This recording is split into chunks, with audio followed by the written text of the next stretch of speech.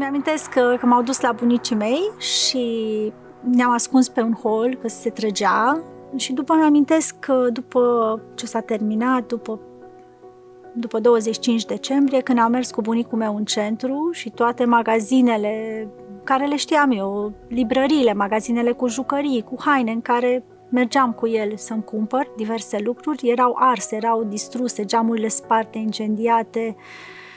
Nu, nu pot să-mi amintesc cum au fost zilele în care am stat în casă, pentru că nu, nu au avut un impact atât de mare asupra mea, pentru că au fost bunicii mei care m-au protejat și au avut grijă de mine, să nu simt astea, dar țin minte zgomotul gloanțelor și frica care am simțit-o în momentul ăla, atât pentru eu, și mine și bunicii, cât și pentru părinții mei, că, că nu, nu știam unde erau, ce era cu ei.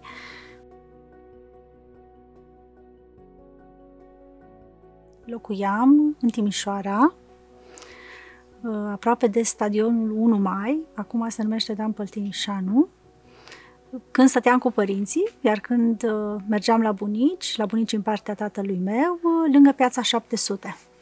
Mare parte în copilărie am petrecut-o uh, la bunicii mei, jucându-mă atât în parcul central cât și în centru, loc unde a avut revoluția. Eram foarte familiarizată cu zona respectivă. Sunt mândră de Timișoara. Da. da, sunt foarte mândră de ea. Îmi place Clujul, dar aici am axat foarte mult pe familie, serviciu. Acolo pot să că m-am bucurat și de oraș și am avut copilăria. Oricum a fost altă etapă din viață. Când spun copilărie, mă gândesc la bunicii mei, mă gândesc la momentele petrecute cu ei, când mergeam în parc, jocurile cu copii care le-am avut, vacanțele cu părinții, la Marea Neagră, băile Felix, astea pot să zic că erau și cu bunicii, momentele care mă gândesc la copilărie. Momente fericite. În fiecare zi ne jucam afară, stăteam până seara târziu, nu aveam nevoie de telefoane, de jocuri și jucăriile erau mai puține, nu erau câte sunt astăzi, dar uh, erau suficiente și cream, eram foarte inventivi. A fost o perioadă foarte frumoasă. Am avut o copilărie, poate generațiile noastre, nu știu, 80 încolo sau poate și din 75 în sus, sau au avut copilăria de genul ăsta și s-au bucurat tot la fel ca și noi. Că am trecut prin toate etapele, cumva, aș putea să spun. În 89 ce vârstă aveți? Șase ani, împliniți. Poate că eram copii, eram obișnuiți cu cea. Țin minte, exemplu, bomboanele cu lapte, care erau minunate din alimentare, uh-huh. foarte bune, biscuiții iar foarte buni, dar uh, nu pot zic că am părți negative. Uh-huh. Știu că mergea bunicul meu, stătea la coadă după lapte să-mi aducă dimineața, dar uh, nu pot să zic că era ceva să mă afecteze pe mine. Era ceva... Da, așa eram obișnuit, era ceva normal pentru mine. Pentru ceilalți, da, dar pentru mine a fost normal. Deci nu erau discuții în casă, că nu. ce greu duce. Nu, părinții mei au muncit tot timpul. Știu că mergeam cu ei și duminica în piață, vindeam, încercam să facem orice să fie bine timpul copilăriei a fost totul ok, nu am simțit că au fost probleme sau cum am auzit că se lua curentul sau nu era apă, pe noi nu ne-a, pe mine nu m-a afectat, pentru că tot timpul a avut grijă să facă ca eu, ca și copil, să nu simt. Da? Am fost și singură la părinți și mă gândesc că a contat și aspectul ăsta foarte mult pe partea în a simți lipsurile sau nu. Fata lui tata sau? Și a lui tata și a lui mama.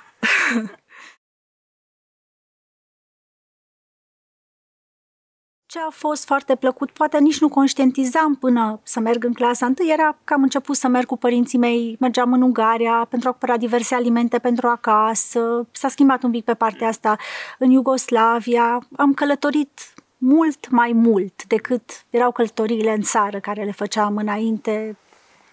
Deci pe partea asta pot să zic, uh, au fost uh, canalele TV cu desene animate care au apărut ulterior și au fost așa o bucurie pentru sufletul nostru. Mă uitam uh, pe RTL, mi se pare. Ah. Da, pe acelea. Mă uitam pe desenele nemțești, dar care le țin minte cel mai mult? Sandy Bell. Aha. Alia.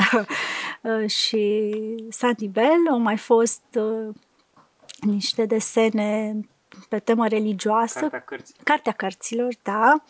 Și Alia și mai fost cu niște Strațe sau Gâște? Stasele Ninja. Și da, alea știu, Testoasele Ah, Nils Ninja. Holgersson. Da, Nils Holgersson, da. Alea Păi ne-au avem plăcut. aceleași. Da, Noi ne-am testoase, uitat la da, la televizor. aceleași. Pot să zic cel mai mult, nu țin minte să mă fi uitat la televizor, uh, țin minte jocurile, Mhm. timpul petrecut afară, în aer liber, uh, poveștile la pick-up, Ce povești? Românești. românești, da, da, da, nu, povești românești, uh, la pick-up, Creangă. asta, da, creangă tot felul de povești, barba albastră, Aha. Toate, Ai o poveste destul de sângeroasă. da, e sângeroasă, da, era în listă.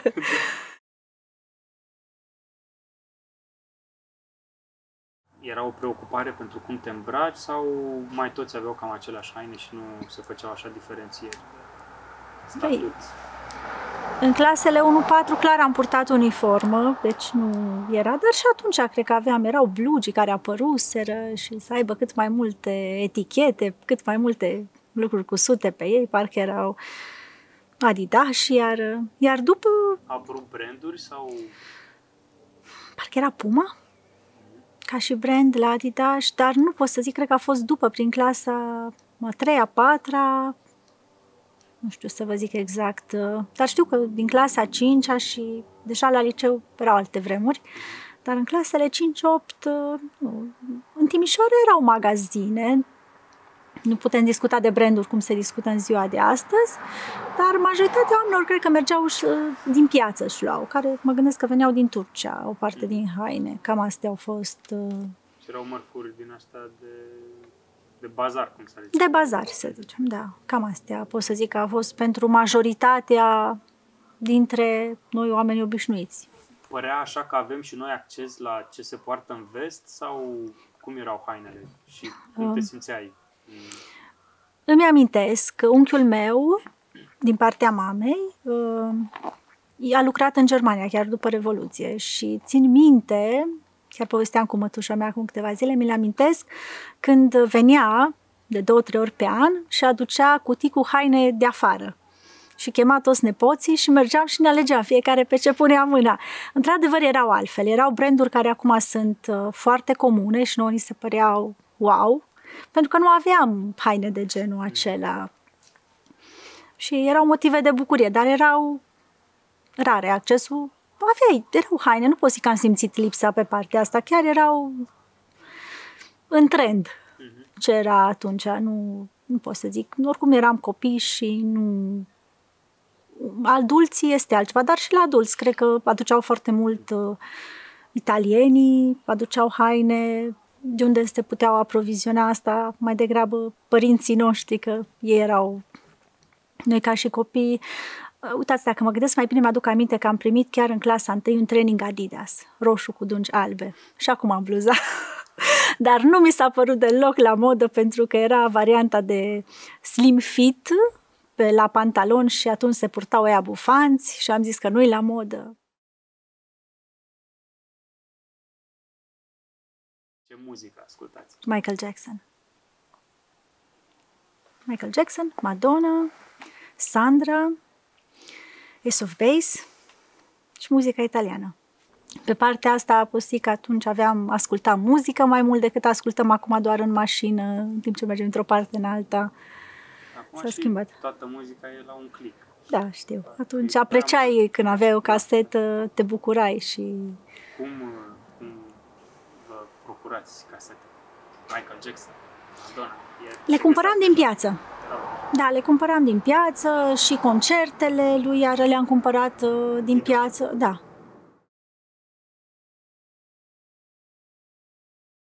Care au fost filmele adolescenței?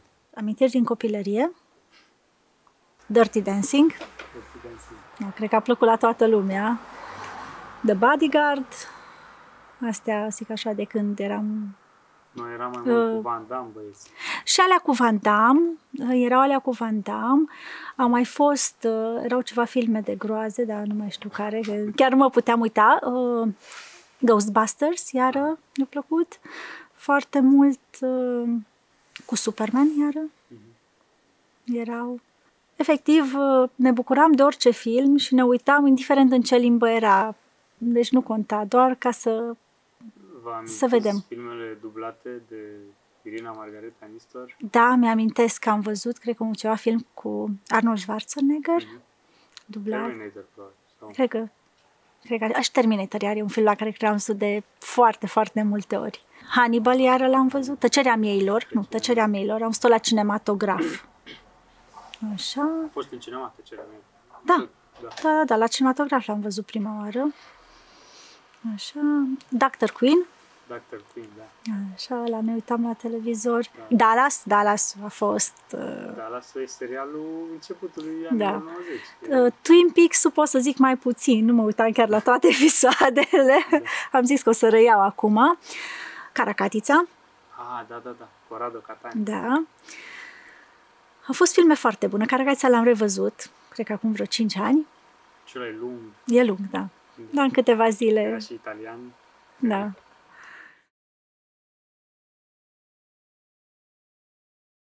Eu spun că erau și părți bune în perioada respectivă. Aveam fabrici, aveam uzine, tinerii, la fel, erau în proporție, cred că de 90% toți aveau o meserie, care în ziua de azi nu se întâmplă, aveau un loc de muncă asigurat, care iar nu se întâmplă astăzi, primeau și o locuință la un moment dat, iar nu se întâmplă astăzi.